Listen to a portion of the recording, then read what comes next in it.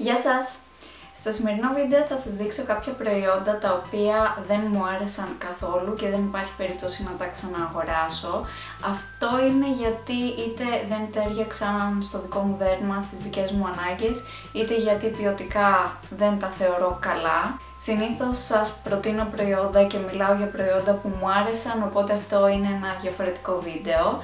Αλλά πιστεύω ότι αυτά τα βίντεο είναι χρήσιμα και πολλά από τα προϊόντα που δεν προτιμώ θα τα δείτε και σε κάποια βίντεο empties.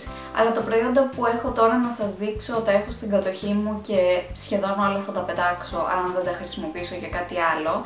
Το πρώτο προϊόν που θέλω να σας δείξω είναι ένα σπρέι κατά της θερμότητας από τη Σάιος. Πιστεύω ότι είναι το χειρότερο προϊόν για περιποίηση μαλλιών που έχω δοκιμάσει ποτέ στη ζωή μου. Λέει ότι είναι υψηλής απόδοσης και δείχνει το αποτέλεσμα σαν να βγήκατε μόλις από το κομμωτήριο, αυτό δεν ισχύει καθόλου. Το συγκεκριμένο έχει μέσα ενόπνευμα, τα περισσότερα βασικά έχουν ενόπνευμα, αλλά αυτό και μύριζε ενόπνευμα και άφηνε τα μαλλιά υπερβολικά ξηρά σαν στάχια.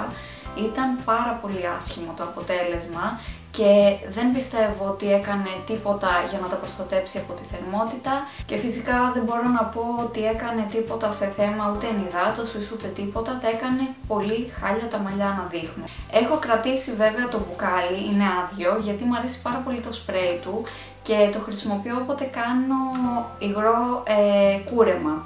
Επομένως τουλάχιστον κάπου χρησιμεύσε όλο αυτό σαν προϊόν απαράδεκτο. Πάλι προϊόν για τα μαλλιά και αυτό είναι μια γενικότερη κατηγορία προϊόντων που θέλω να σας δείξω και είναι τα λαδάκια τύπου μακαντέμια, moroccan oil και όλα αυτά που έχουν σαν βάση ας πούμε το argan oil. Τα συγκεκριμένα τα αγαπάει πάρα πολλοί κόσμος και καταλαβαίνω γιατί και προσωπικά εγώ όταν είχε γίνει η μόδα με το Moroccan Oil και τα λοιπά είχα δοκιμάσει τα περισσότερα από αυτά, είχα πάρει και το Moroccan Oil, είχα πάρει και κάποια από την Kerastase, είχα πάρει και το Macadamia, αυτό το έχω σε travel συσκευασία τώρα, τα υπόλοιπα τα έχω τελειώσει. Και μπορώ να πω ότι πλέον δεν υπάρχει περίπτωση να αγοράσω κάτι τέτοιο. Αυτά μέσα περιέχουν σιλικόνες και σε πολύ μεγάλο βαθμό, επομένως κάνουν τα μαλλιά να φαίνονται πάρα πολύ λαμπερά και υγιή, όμως οι σιλικόνες μαζεύονται στις άκρες των μαλλιών σας και στα μαλλιά σας γενικά όπου βάζετε αυτά τα λάδια και μακροπρόθεσμα κάνουν τα μαλλιά σας πάρα πολύ ξηρά. Βέβαια πρέπει να χρησιμοποιείτε κάποια σαμπουάν τα οποία είναι καθαριστικά. Εγώ έχω πει και στο παρελθόν ότι χρησιμοποιώ τις Redken εδώ και πολλά χρόνια. Αλλά αυτά τα σαμπουάν έχουν την ιδιότητα να βγάζουν ακόμα και τα καλά έλαια από τα μαλλιά σας με αποτέλεσμα να τα κάνουν πάρα πολύ ξηρά. Οπότε είναι ένας παύλος κύκλος και δεν μπορώ να πω ότι θέλω να συνεχίσω να το κάνω αυτό το πράγμα. Σαν εναλλακτική εγώ χρησιμοποιώ λαδάκι πάλι από τη Macadamia που μου αρέσει πάρα πολύ.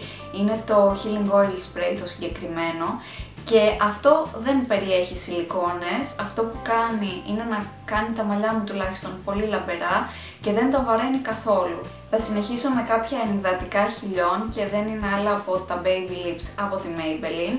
Είχα πάει σε ένα event και μας τα είχαν δώσει όλα όσα είχαν βγει και προσωπικά μπορώ να πω ότι δεν μου άρεσαν καθόλου. Βέβαια, μυρίζουν καταπληκτικά, δηλαδή έχουν κάποια αρώματα τα οποία δεν τα έχω βρει σε κανένα άλλο ενυδατικό χιλιόν. Αυτό ας πούμε το οποίο είναι το Pink Punch έχει και κάποιο χρώμα το οποίο αφήνει στα χείλη, είναι έτσι ένα πολύ απαλό ροζάκι, δεν ξέρω αν φαίνεται στην κάμερα αλλά γενικότερα έχουν πάρα πολύ ωραίες μυρωδιές. Αλλά σαν ενυδατικά χιλιών, στα δικά μου χείλη τα οποία όντως χρειάζονται κάποια ενυδάτωση δεν έκαναν τίποτα τα άφηναν ενυδατωμένα για περίπου 20 με 30 λεπτά και μετά εξαφανίζονταν από τα χείλη μου και μπορώ να πω ότι τα άφηναν και λίγο πιο ξηρά από ό,τι ήταν πριν βάλω το Baby Lips. Θα σας δείξω και ένα άλλο προϊόν για τα χείλη, το οποίο λέγεται Lip Coat. Ε, νομίζω η εταιρεία λέγεται Lip Coat και σαν φιλοσοφία αυτό μου έχει αρέσει πάρα πολύ. Ξέρω ότι βγάζουν και άλλες εταιρείες κάτι τέτοιο. Το συγκεκριμένο είναι ένα υγρό το οποίο το βάζετε πάνω από οποιοδήποτε κραγιόν σας και το κάνει πάρα πολύ σταθερό, ουσιαστικά αδιάβροχο και ματ. Νομίζω τα έκανε όλα ματ. Αλλά Αυτό δεν μου άρεσε καθόλου, του έδωσα τρεις ευκαιρίες, το δοκίμασα δηλαδή τρεις φορές και τις τρεις απέτυχε παταγωδώσει κάθε προσπάθεια. Αν δείτε είναι σαν μανό, δηλαδή έχει αυτό το πινελάκι που έχουν τα μανό και μυρίζει έντονα κάτι ανάμεσα σε μανό και ινόπνευμα και αυτό εμένα με ενόχλησε πάρα πολύ πάνω στα χείλη μου. Εκτός από αυτό τα ένιωθα πάρα πολύ ξηρά και υπήρχε και ένα πολύ έντονο τράβηγμα. Μετά από 5 λεπτά πήγα να δω το κραγιόν στον καθρέφτη και στο πάνω χείλος το μισό κραγιόν είχε φύγει. Όταν το βάζετε αυτό δεν πρέπει να ενώνονται τα χείλια σας μεταξύ τους. Αλλά προφανώς εγώ δεν το έκανα, πρόσεχα για ένα λεπτό να μην ενώνονται. Αλλά είχε φύγει σε πάρα πολλά κομμάτια το κραγιόν, δεν είχε μείνει. Και το υπόλοιπο είχε μείνει πάρα πολύ ξηρό και φαινόταν πάρα πολύ αφύσικο και πολύ άσχημο. Δεν υπήρχε περίπτωση δηλαδή να βγω έτσι έξω. Και αυτό φανταστείτε ότι έγινε μέσα σε ένα πεντάλεπτο, δεν κράτησε παραπάνω η όλη διαδικασία. Το δοκίμασα άλλες δύο φορές, δεν μου άρεσε καθόλου. Το είχα κρατήσει, δεν ξέρω γιατί, τώρα προφανώς θα πάει στα σκουπίδια γιατί ούτε να το βλέπω δεν θέλω. Το επόμενο προϊόν είναι από την ELF και είναι το All Over Color Stick, είναι ένα highlighter.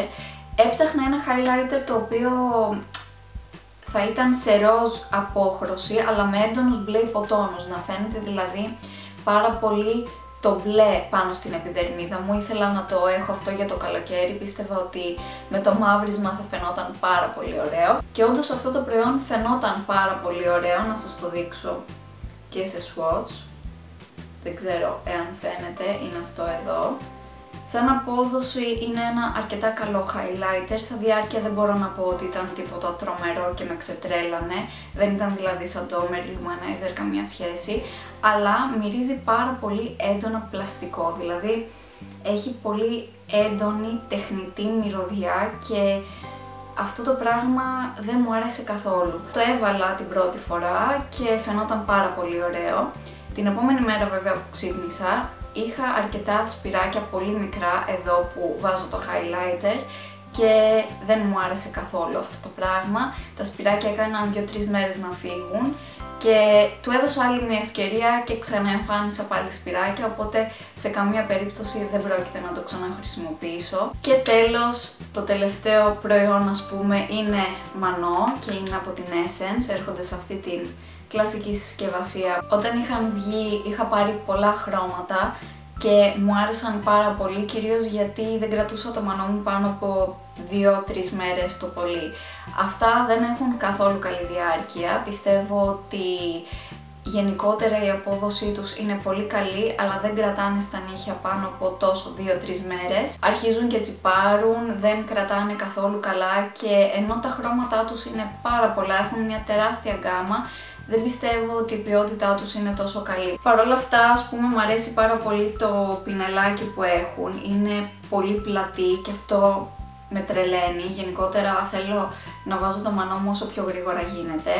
Αλλά εκτός από το πινελάκι και τα ωραία χρώματα, δεν πιστεύω ότι σαν μανό είναι κάτι το αξιόλογο. Θεωρώ δηλαδή ότι μπορείτε να βρείτε πάνω κάτω στις ίδιες τιμές πολύ καλύτερα μανό όπως είναι της Catrice και όπως είναι και της Golden Rose. Εγώ έχω δοκιμάσει μόνο από τη σειρά Rich Color αλλά πιστεύω ότι είναι εξαιρετικά σαν μανό και ναι, δεν πρόκειται να ξαναπάρω τα μανό της Essence. Αυτό ήταν λοιπόν το βίντεο. Πείτε μου από κάτω στα σχόλια ποιο προϊόν δεν σας άρεσε καθόλου και δεν υπάρχει περίπτωση να το ξαναγοράσετε ποτέ ξανά. Αυτά από μένα, εμείς θα τα πούμε σε ένα επόμενο βίντεο.